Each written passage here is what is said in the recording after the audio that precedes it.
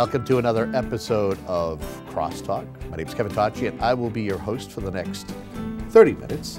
Now, as you've come to know this particular program, we, we do our best to serve the two towns of Whitman and Hanson and provide you with a good conversation and guests, whether it's on upcoming events, might be an issue or a topic in one of the two towns we serve, or might be a community event. And I think that's where we're going to circle today as we have an upcoming community event. And you might recognize a couple of the folks who were with me. They were here, I want to say about a year ago. Uh, starting uh, closest to me, we have Jen Spagone. Hi, Kevin. In the middle is the troublemaker, Mr. Nathan Fogg. Hi, Kevin. And we have uh, new to the set, Matt Torrance. Hello, Kevin. Welcome to uh, Crosstalk, or as I'm tempted to say, Coffee Talk, because we were kind of chatting with, with Jen a little because uh, she was kind of uh, remembering the Mm-hmm. Saturday Night Live skit. Reason why we're here talking is is that uh, if you remember a year ago we had both Nathan and Jen here, and we were talking about their stage adaptation of of a novel that was put together by one Charles Dickens called A Christmas Carol, and you gave us an idea as to what led to the stage adaptation. If you will, let's remind folks what led you to uh, writing your own version of uh, A Christmas Carol. We'll start with you, Jen. Well, we decided we'd like to um, stage a Christmas Carol, that it was something that we had never uh, attempted to do before. And we were talking about what script would we use. And we decided that um, because it's a public domain and you can write an adaptation yourself, that we'd, we'd give it a try, that we we really enjoy this uh, piece of work by Charles Dickens, and we thought that we would give it a go. It was the idea to kind of maybe add a dimension to this timeless classic. Well, I think the goal was to present it the way that the book presents it Okay. and to stay true to um, what Dickens had written originally and to try to incorporate as much of that uh, Dickensian language as we possibly could. How did it come? Was it a matter a time that you two just happened to be thinking about what should the next show be? Was there like you just looked at Nathan? Was it one of those where Nathan looked at you, you looked at Nathan, go, you know, what was what was the moment? Nathan? I don't really know. We kind of have, Jen and I have production meetings like every couple of hours every day. no, it's true. No, it's true. It's we, true. we talk a lot. I, I would say that we probably talk on average about two hours a day about theater. Every day, even when we're not doing a show. It's your lives. yeah, yeah. that's not an So- exaggeration. And whether it's researching or going to see something that's coming out so we can get a feel for something we want to do. Um, and when this one came around, you know, as a any theater, really at the nuts and bolts of it is a business, right? You have to produce things people want to see. And A Christmas Carol is one of those things that people want to see. They want to start their Christmas season with it. Sure. You know, people make traditions out of it, similar to going to see the Boston Ballet do the Nutcracker. There are people I know that have seen Boston Ballet do the Nutcracker every year for their whole lives. Their families get all dolled up and go in, you know. Yeah. Um, and so we were looking to maybe tap into the Christmas time theater going audience. Um, and we thought, what better than a production of A Christmas Carol? Because it is public domain, so you don't necessarily have to pay royalties, which is huge for a theater, you know, and you can make it your own. You can incorporate the music you want to incorporate. You can come at it from the angle that you want to. Um, and like Jen said, we really wanted to stay true to Dickens' language uh, and not, you know, dumb it down. So a lot of the language in the script, I mean, it's right out of the book. And so it'll, while some of it will be familiar to people, there's going to be a lot of it that's like, hmm, what does that mean? Oh, I know what the, I know where this is because they know the story, and that that enables us to stay true to the language because you already know what's going on in a Christmas Carol. You know, every pretty much everybody has a basic idea of how the story is going, what the scenes are going to be, et cetera, et cetera. So you can kind of stay true to the Dickens language and not worry that translation is going to be lost because everyone already has a preconceived notion about what's going to happen. You know, Let's uh, let's add Matt into to, to the mix here, and uh, folks might be saying, "Well, why are you adding Matt in?" I'm adding Matt because Matt, I believe you're you're not only you've been nominated, but you've been a, you've won an award for some of your performances, are strictly just nominated? I've been nominated for for um, let me see uh, the for the Dash Awards. It was for Bat Boy, the Okay. musical for Bat Boy, You and then three you- nominations. yes, yes, no wins yet. Well, let's we'll get the- there. Oh, me either. Oh, I Wait, wait, know, wait, wait, Susan wait, Lucci. But don't dub him to Susan Lucci just yet. Yeah. Not just yet. But He's but the you. Susan Lucci. Yeah, That's How many you times now, Nathan? Like 15. Fifteen. A couple more and you'll get there. Right? We didn't wait. Take I her did like win. I, well, I won one. Oh, there I you go. did. I got well. Wait, that was an honorable mention, wasn't it? No, no, it was I, I- kind of. It was it was a special award. So what they do, the consultants do a consultant's choice Lifetime award. Achievement nomination? Yeah, I wish. Okay. Right? No, it, it's a consultant's choice award. So they nominate specific awards if there's a category that they want to nominate that doesn't fall into another category. So I had made puppets, uh, like 28 of them, for a production of Avenue Q. Wow. And because they're really the characters in the story, they're not actual just a prop. It's not the same as like finding a phone and finding a basket to Yeah. dress the set. Right, the so right. they didn't want to nomin- nominate them as props because they were too intrinsic to the story. So they made them their own category and gave me an award for that, which was nice. Well, that's pretty cool. Yeah. Well, so the reason why we're kind of adding Matt is because Matt, you have done a seasonal show. You were in Annie. I was not Nanny. I got you here as being in Annie as Rooster. That was oh, that was actually a long time ago. That was in a, a workshop. Okay. Um, when I was much younger, but it's one of the only things I put on my resume. Okay. okay.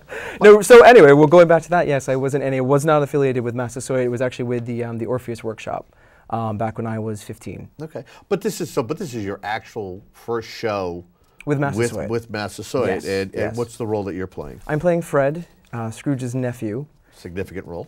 the optimistic, um, charismatic, yet stubborn and um, wonderful character. It's just it's so much fun to play, and especially it, to juxtapose um, Scrooge in, in in every sense, to be honest. And we were, when Jen was staging me and directing me, which is such a lovely job that she does, and working with both of them is just Right. Because they're, co- they're co-directors. Yes, yes.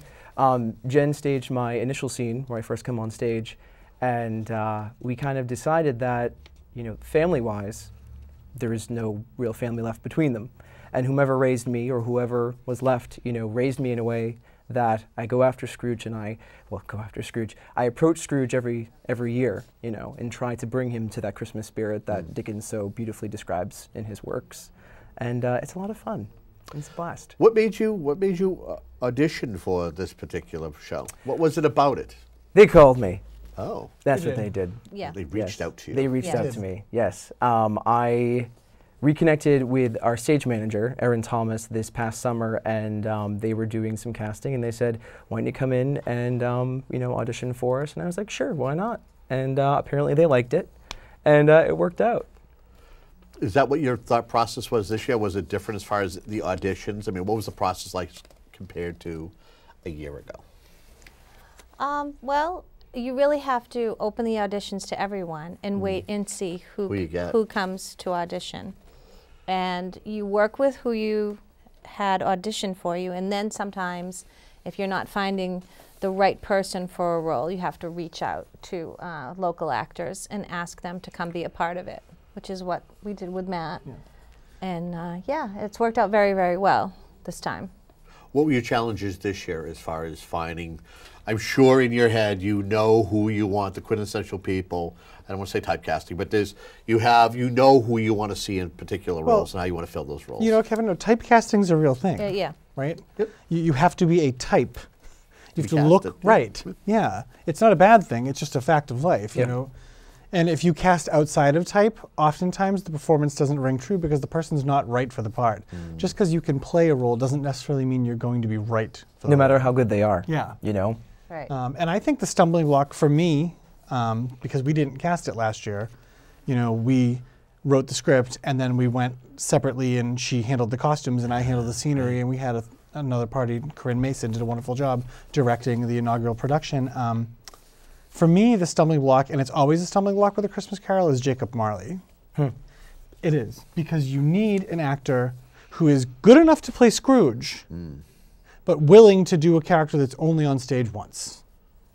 And it's super important to the story. Without him, the story doesn't go anywhere. Right. Right? He drives the whole story. He's the reason these ghosts come to visit. He is the, the reclamation is his bringing to Scrooge, you know. And so if you don't find a good one, your, your show kind of stalls early on. You know, he has to be a strong actor. He has to be imposing. He has to have like a voice that has kind of this eerie resonance to it. Um, there's, there's a lot that goes into it, and all of that for one scene. So for me, I think that's always the challenge Yeah. with this show because everybody wants to play Scrooge, and only one person can. You, you paint quite a vivid picture. I think a lot of people don't realize what goes into theater, whether it's theater you go into Boston, you go into the city to see, or even a community production. A community production is just as important as in a big production. if not pay more lot money. important. If not more important in some circumstances, I've seen some community theater productions that have blown Boston theater, you know, out of the That water. That goes without saying. There's so many theater groups on the Yeah. South Shore. Yeah. That, that I that that you know what that they're worth the money you pay and, and more. and you don't have to go into Boston and pay for parking. I mean, Everybody says that. right, there you go. But that's fantastic. right? And you know, I've worked at all levels, as have Nathan and Matt. And really and truly, no matter where you go, the process is the same. Mm. To It doesn't matter if your budget is six hundred dollars, your budget is fifteen thousand dollars, your budget is two million dollars. The process to get the product on the stage Sure. winds up being the same, no matter what you're doing. And I think, you know, to some degree, like Matt said, you can you can see some pretty unbelievable community level theater because it's amateurs. And for me, am- amateur is a good word. It's people doing things because they love to do it. Sure. Yeah. It's a Right? passion. Yeah.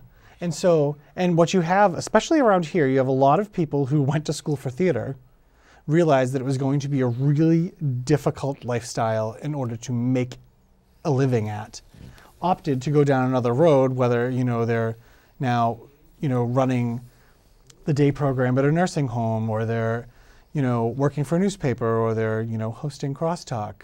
You, you know, whatever they might be doing, they still got the training, the same training that the people who are in New York have. Sure. Um, and so they're looking for outlets to do it. And so community theater is a way for them to still work their craft and hone their craft and also expose an audience that might not be able to afford the $200 ticket in Boston. Sure. You know, to take a family of five to the theater today, you're looking at $1,000 plus parking, plus dinner, plus, you know, other, you know, trinkets that you buy at the show or whatever. But at a community level, you can do it, and you can, that same family of five, it could be $100, Sure. which is so much more manageable. L- Let me kind of. I want to throw something else into the mix. And You mentioned it earlier, and that is is that last year it was you you wrote the adaptation and you let somebody else drive the vehicle. This year, you two decided not only to drive the vehicle, but you're also doing other aspects. Jen, uh, by design, you are somebody who does the costuming for shows. You're also doing that on top of being a co-director with Nathan. Nathan, of course, designing the, the set. Are, are there French doors somewhere in there, or There no? are. They're, all- they're smaller, That's though. your trademark. I know. That's your staple. But talk to me about not only you have extra an a- extra aspect to it. What is it like to have be wearing those those different hats on top of watching this as it is coming together? For me, it's been interesting. Um, I've never done any any directing in theater before. I've seen it happen over and over again, and I've worked with lots of directors as a costume designer. Uh, so it's been really great. I'm kind of taking advantage of the situation that I have Nathan because Nathan's done lots of directing, and so um, I asked him, could we do this together so that I could really just learn more about the process and learn more about my own craft. And um, so it, it, it's been eye opening for me, I, and I really enjoyed it.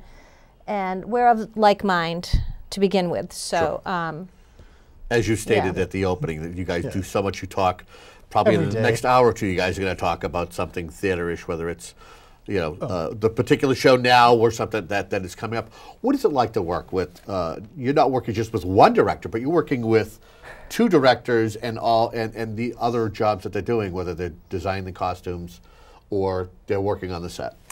It has been the best process I have actually had in, in theater thus far. Nathan and Jen are brilliant when they how they approach things, and Nathan, you know, no offense to anyone else that I've ever worked with, is knows what he wants Oh, from yeah. from the top to the bottom, and he'll get it out of you. He'll get it out of It you. doesn't matter if you're an amateur. It doesn't matter if you're semi-professional. It doesn't matter if you're a professional. Um, he knows how to work with people in order to unlock what he's looking for. And Jen the same way. You know, Jen, this may be your first time, but you know, she staged me on my first day, and you know, we got it done in about maybe 15, 20 minutes. And Yeah. it's like, if you have a good director and you have the good actors to work with, it's a bing bang boom process. Right. And it's been that so far, and I love that. I hate, right? Hopefully it stays yes, that yes, way. it will, it will. Is this real wood? Um, I, uh, Kinda. I, I despise going to rehearsal processes that are so dragged out and they're so respectful of your time as well, um, which is huge. I mean, in a community theater setting, sometimes you're called and you're never utilized. Sure. Happens the same way in Boston theater. Happens the same way, you know, regional Broadway, you know, things like that. And um, you know, they've been fantastic to work with. And if I could just remind folks, take a moment to remind folks, uh, show will be hitting the stage as of Saturday, November 28th. Is that correct? Right. Uh, for three weekends. Uh, the first two weekends will be just Saturday and Sunday. Sunday, of course, being a matinee. It is at 2 p.m. Is it Three. Three. 3 3 p.m. That 3 Yep. p.m. Sorry, I, there was a time it was 2 p.m. though, right? Yes. Just want to make sure I'm not I'm not losing it here. And then I believe uh, the weekend of December 5th and 6th, actually, uh, I'm sorry, Yeah. December 11th, 12th, and 13th. It's actually a Friday, Saturday, Right. and Sunday, correct? Yep. Okay. Uh, if folks want to uh, find out information, I believe that credit cards are accepted now, right? Oh yes, um, we have online ticketing available now too. So you can go to www.massasoit.edu. The the uh, address has been shortened, and then from on the home page at Massasoit, on the bottom of the home page is a menu so you can get around, and I think it's under Student Life, and it says Massasoit Theater. If you click that, it will bring you to the page where you can select your own tickets and order them. That's the most efficient way to do it. Okay. You can also call the box office at 508 427 1234. Um, we do not have a full time box office staff, so Leave a message. leave a message and we'll call you back. Um, or you can go into the box office Tuesday through Friday from 10 to 2 if you want to. Um, so those are the ways you can acquire tickets to the show. Um, we'll also be appearing in the Brockton Christmas Parade this year, Oh, very nice. the morning that we open. So you can come down and see us there with 10,000 other people, and that'll be fun. That, that definitely will be fun. Let's talk about some of the other uh, characters, and some of the other folks who are making this possible. First and foremost, you guys want to talk about, other than uh, having Matt here uh, starring as uh, Fred. Who else do we have in this particular production, if you guys will? Well, we have a couple of people returning from last year's production. Um, Ethan Mantelos is returning as Christmas Present. Who's brilliant, Yeah, he's wonderful. brilliant. He was nominated for a Dash Award for his For role Christmas as Carol. Christmas present last year. Really? Yeah. and he's returning this year. And then um, Renee Rowe is reprising her role as the maid, Mrs. Dilber. Um, so we're happy to have everyone back that's coming back. And um, our Scrooge this year is a man by the name of Ron Perello, and he comes from Stow. He's driving from Stow to do the show. Wow. It's devoted. It is. Yeah. It, it's a, it's a commitment. Commitment. you know any any type of theater whether it's you know regional community professional amateur high school it's all a giant time commitment and i think a lot of people don't really understand that i mean these people are at the theater two and three nights a week three and four hours at a time Sure. trying to make this happen and, um, and he's driving an hour and 15 minutes each way on top of it so when he comes to a five hour rehearsal on sunday he's really spending you know eight and a half hours coming to rehearsal Right, on right. sunday um, he's going to be great. Christopher Hagberg from Quincy is playing Jacob Marley, and he's wonderful. We're very, very lucky to have him. Um, and we have a bunch of newcomers in the cast, too. It's really great. Um, and there's a student named Elliot Davidson who kind of came out of nowhere, who is wonderful. and Very And, talented. Yep. And he, he listed on his resume that he was a, a master of dialects. And I was like, we'll see. Well, he was not kidding. Yeah. Really? No, his, his British accent is perfect. It's on. perfect.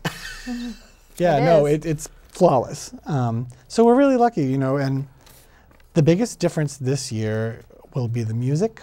Um, our music dir- last year, um, a gentleman by the name of Steve Shannon from Abington directed the music, and he did a really nice job. But we were kind of out of the gate and not really knowing where we were going. And you know, this year it's a gentleman by the name of Eli Bigelow, and he's planning to orchestrate the whole show. Um, so it's last year it was a piano accompaniment, and this year he's doing piano, drums, cello, violin, French horn, trumpet, and something else. I And don't is what this going to be all thing part of the pit? Yep. On on opening on the yes, opening night it'll be and live. every other okay. Yeah, the music will be live. So he's Which is fantastic. That's yeah. a great element. Sure. And and he's really and he's more focused on. I mean, the show it's a play with music, so it incorporates. It's not a musical. The music doesn't tell the story. It's we incorporated a Christmas traditional Christmas carols into the show. On the ambiance of the show. Right. What he's doing is he's taking it upon himself to underscore all of the scene work as well. So instead, huge. Yeah, it's an unbelievable task, and he's really kind of chomping at the bit, as it were, to make it happen. Um, and we're very excited for that because he has some really great ideas about how he's the themology of it, and um, you'll have to listen to it to see if you pick up on it. But you know, different people's themes are different Christmas carols, and they start off, you know, kind of dissonant. And as the show gets more Christmassy, as Scrooge starts coming around, it gets more to a major chord. He's really, really kind of delved into it, and I think it's going to add a lot to the show.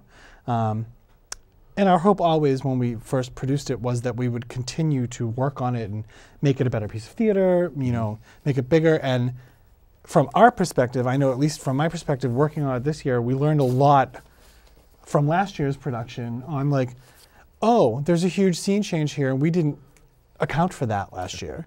You know, I designed this huge You piece learned. of scenery. Yeah, You Sure. learn Of through course. osmosis. yeah.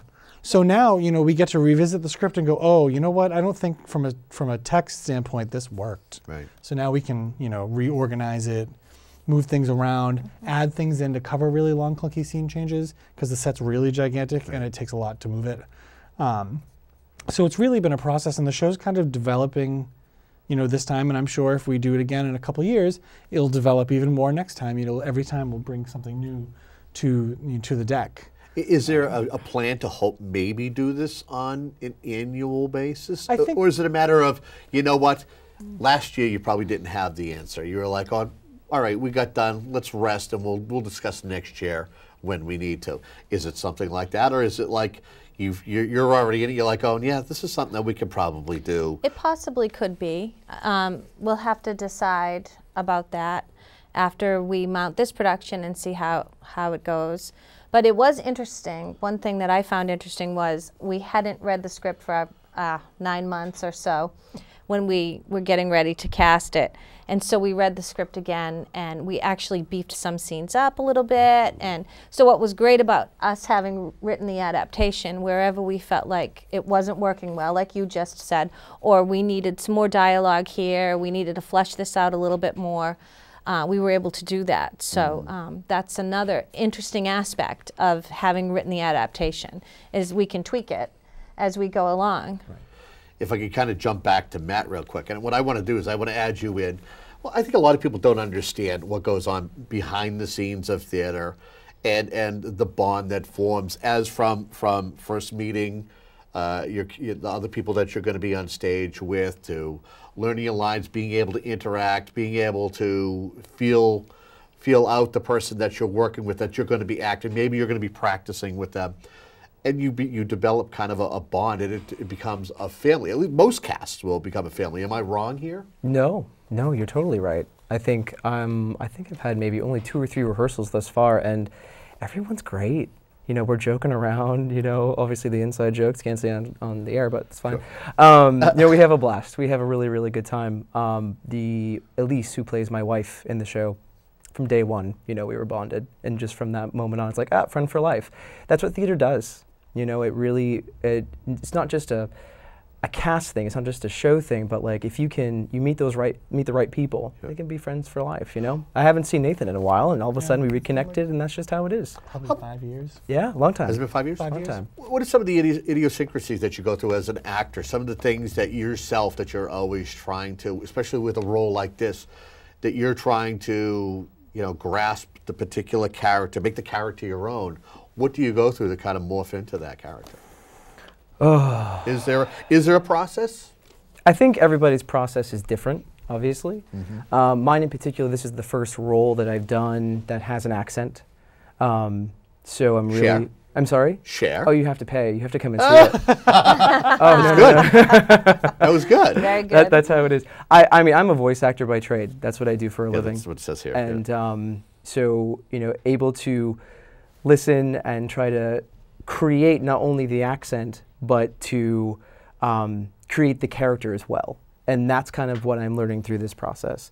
I'm kind of putting myself through a trial by fire and like listening to all these different um, inflections, you know, videos online, and there was um, a uh, how-to that you sent out as well that I've been kind of processing. It's Good, good. and the evolution is so much fun, you know, creating something that has an accent, you know, and very proper, you know, very proper accent. Very nice. So, so you don't have to pay. You, Uh, you still have to come though. yes, please. we, we get we get about five minutes left. Is there any stone we have not unturned in regards to sharing uh, the second go around of A Christmas Carol, which is going to be at the Buckley Performing Arts Center uh, coming this November 28th, starting for three weekends, uh, Jen, the the weekend after Thanksgiving. So it which starts is fantastic. Right. I, we we always felt that um, people are in the mood to go do something like that at the beginning of December. Right away, they want to go kick Holiday off their holiday festivities, and it's a, uh great opportunity to come and kick off your holiday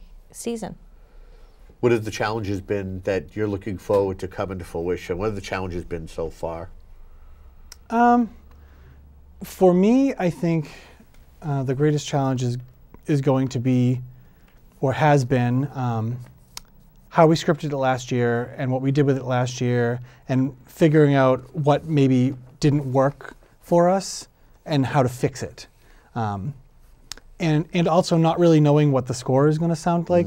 There's been a lot of like, okay, we're going to have this stop and go rehearsal so Eli can listen to the scene and figure out where he needs musical flourish under, under the scene. Like every time Christmas present sprinkles, you know, from his torch, the Christmas spirit, there needs to be music every time, you know. So I I think that is the biggest challenge right now is kind of working all of that in. Okay. Matt, anything you want to say in closing? Just to entice the folks to come. Come and see the show, ladies and gentlemen. It's going to be great. No, um, the as I said, the whole process has been wonderful. Um, I really think that this is going to be something very, very special. Uh, I, I know that they did it last year, but this year they have me, and they I'm just kidding. And, and you know, that's and they have. Chris, and they have you know all these wonderful, wonderful actors who I don't know if they were in last year. I know Ethan was, but I don't know if Chris was. Um, and so having people like that, you know, it's just going to make it you know a lot of fun. Okay. Let's swing for the fence here. Let's give them all the necessary uh, information, uh, Jen and uh, Nathan. Uh, how can they find out more about uh, the show? Like to get tickets? Phone numbers? Sure. Um, for tickets, they can go to Massasoit's website, which is www.massasoit.edu. Nice and and from the homepage, find Massasoit Theater, and that will lead you to purchase tickets. Um, if you would like to do that over the phone, you can call the box office Tuesday through Friday from 10 to 2 at 508 427 1234. You can also go in person. Tickets will also be available at the door. Anything you'd like to say to close out this uh, this show? Uh, the only thing I think that might be a little different this year is we're really trying to highlight the humor that's in this story as well. So it's not such a serious. It is a story about redemption, but Dickens wrote it with lots of humor, and we're really trying to highlight that aspect of it as well. One more thing. Please. Scrooge is wonderful. It's a it's a really interesting, honest take on the character, and this is something the audiences are going to be able to take away. Um, something not just so abrasive, but endearing, and um, you want to see you want to see him evolve. So, giving you that. Yeah. Well, listen, I want to thank uh, the three of you for coming and sharing, and uh, I can't wait to head on down to the Buckley Performing Arts Center. Make sure you get out and check out this production. 508 427 1234 is the number, and until next time, have a great day.